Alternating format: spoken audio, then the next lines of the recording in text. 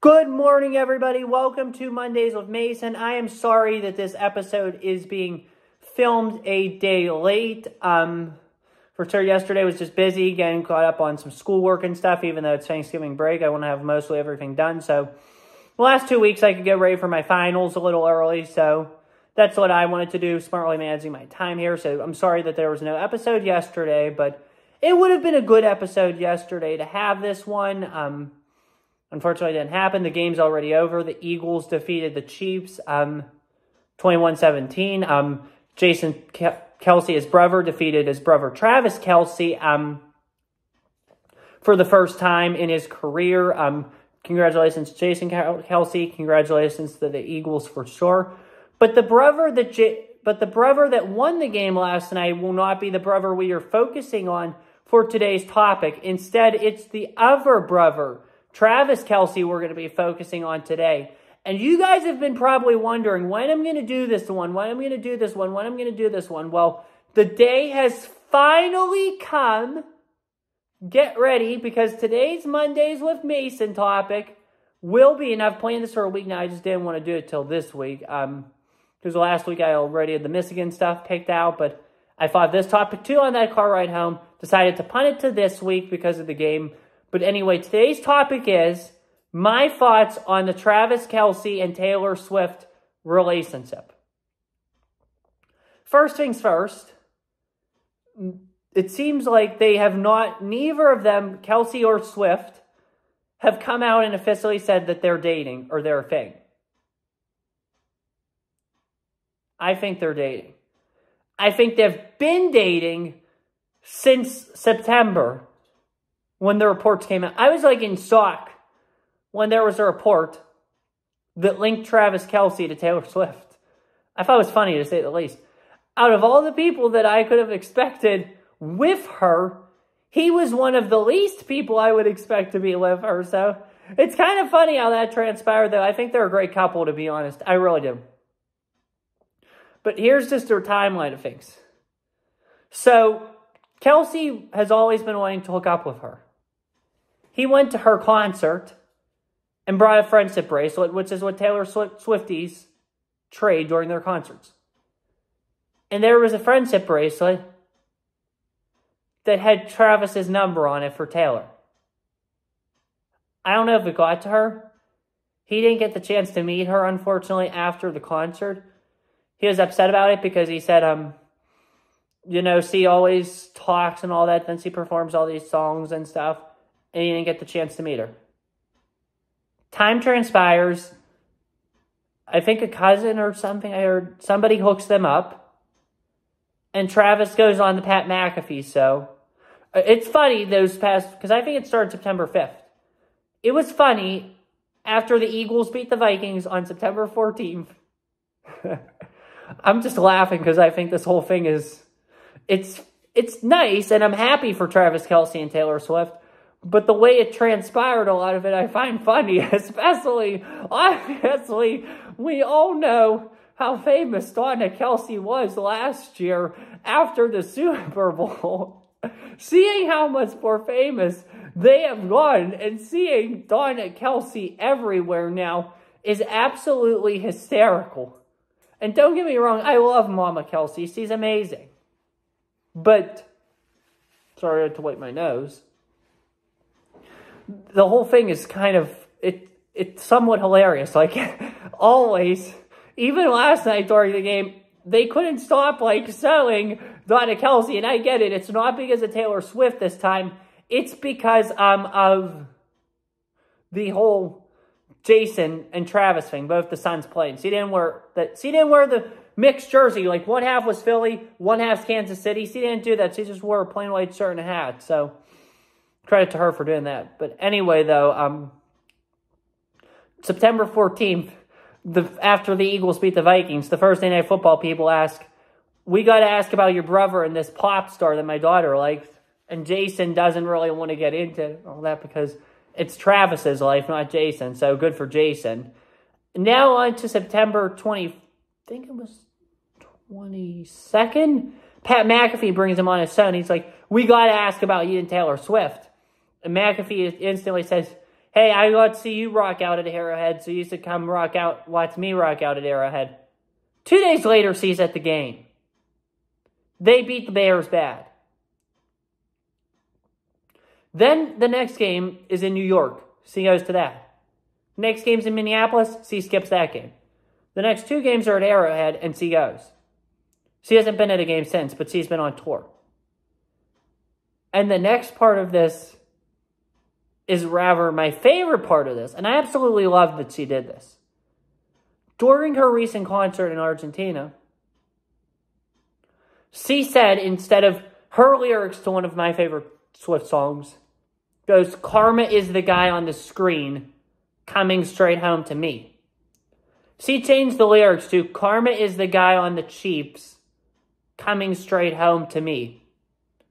And Scott Swift, Taylor Swift's father, who had a Chiefs lanyard on, by the way, just looked at Kelce and put his shoulder on him like this. And Kelce was like so happy and then just started like dancing like this the rest of the song. And then the, C ran and gave him a hug after the show. I think it was rather cool. I was so happy to see them like this. They're both great people. Kelce does a lot of good for the Kansas City community.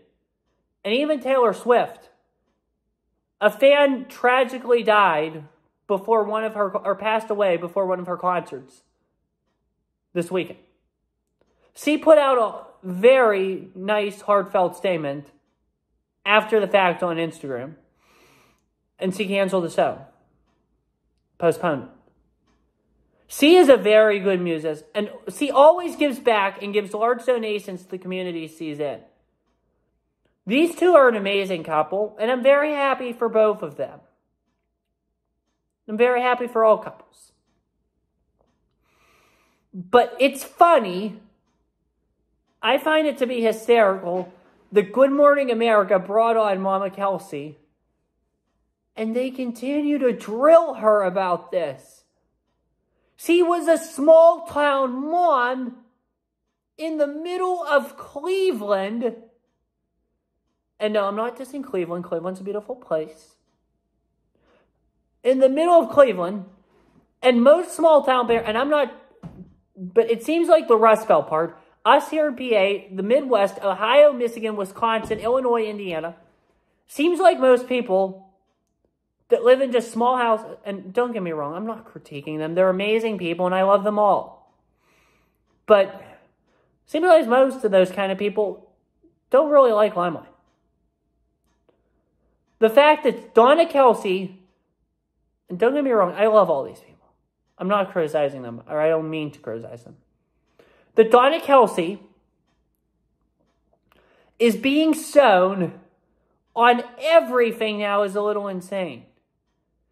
I mean, don't I, I I'm sure she's happy with all the attention, but with all these TV interviews, I'd be surprised if she's not already burned out. And she doesn't only have this son in the NFL, she has another son in the NFL as well. So she's doing real well. She was famous last year because of the Super Bowl. Her fame has skyrocketed because of Taylor Swift. And we all knew as NFL fans who Travis Kelce was because of his heroics with the Chiefs. However, the whole world now knows who he is because of her. That's amazing. The funny thing is, the fact that not only is Mama Kelce here being featured, but ever since this relationship began, he has been in almost every commercial. If there's 10 commercials on a commercial break, he's in at least two or three of them.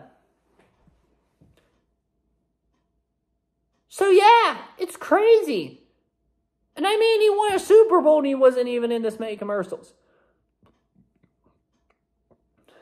So, you win a Super Bowl right before COVID. No sports during COVID. These big time companies could have easily used him then as the star of the Super Bowl team.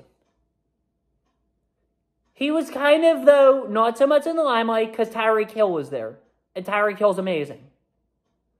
But they could have easily used him then to keep people interested in sports and still sold their product because the economy sucked during COVID and most people were not doing very well during COVID. Most companies were not doing very well during COVID unless you made ventilators, vaccines, or any kind of medical stuff like Mr. Pfizer, Pfizer, Mr. Pfizer here, Kelce. That's what Aaron Rodgers calls him. But anyway, though, um, these companies that needed a boost, they could have easily used Kelce then. He's just coming off a Super Bowl. He's in the pinnacle of his career. It'd be a great advertising fit. You don't see any Kelce commercials. 2023 beats his brother Jason in the Super Bowl. Get, continues to get hot. Continues to put up top tier numbers. This summer, you don't even see him in many commercials. September 5th, this link here connects them and Taylor Swift. He's in every commercial. So it's funny how music and football, two of my biggest interests and my two, two of my biggest passions in life, have come together. I think it's a great thing. I think it's a great thing that they're dating. But after a while, it does get tiring of hearing about it. And you're going to see Taylor Swift at some big games here. They play the Bills December the 10th, Raiders Christmas Day, Bengals New Year's Eve, trip to LA, so probably be there. She doesn't go back on tour till like the week before the Super Bowl, which sucks for them if they make it. And then she'll be there at Arrowhead all throughout the playoff run. So I feel sorry for whoever's going to play the Chiefs in the playoffs in the first round or any round. Because you're going to probably get annihilated. And then you're going to head into your whole off season just watching pick play- videos of you getting destroyed in the playoffs and Taylor Swift celebrating it. Some organizations, I think that's what they need.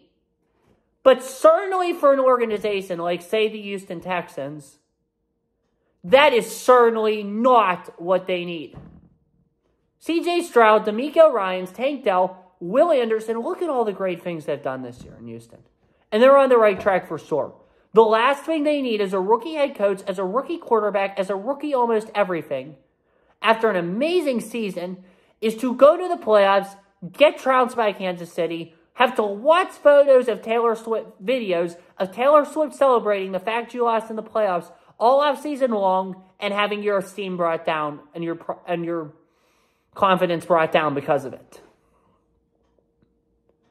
But some teams that need rebuilt or need to make significant changes truly do need that. So, yeah. But anyway, it's a great couple. It's a great story. Hopefully, they're going to be in it together for the long run. And so, yeah. That's all I have to say to you guys. Best of luck to Travis Kelce and Taylor Swift as they continue their relationship. I wish them nothing but the best. Can't wait to see Kelce on more advertisements for sure. Can't wait to see Mama Kelce get more TV action, so just buckle up. It's going to be a long ride, and you're going to get to see them in more advertisements, which is always fun, that's for sure. Happy Thanksgiving, everybody. Have a good one. Take care. Stay safe. Pray for Israel. And as always, peace.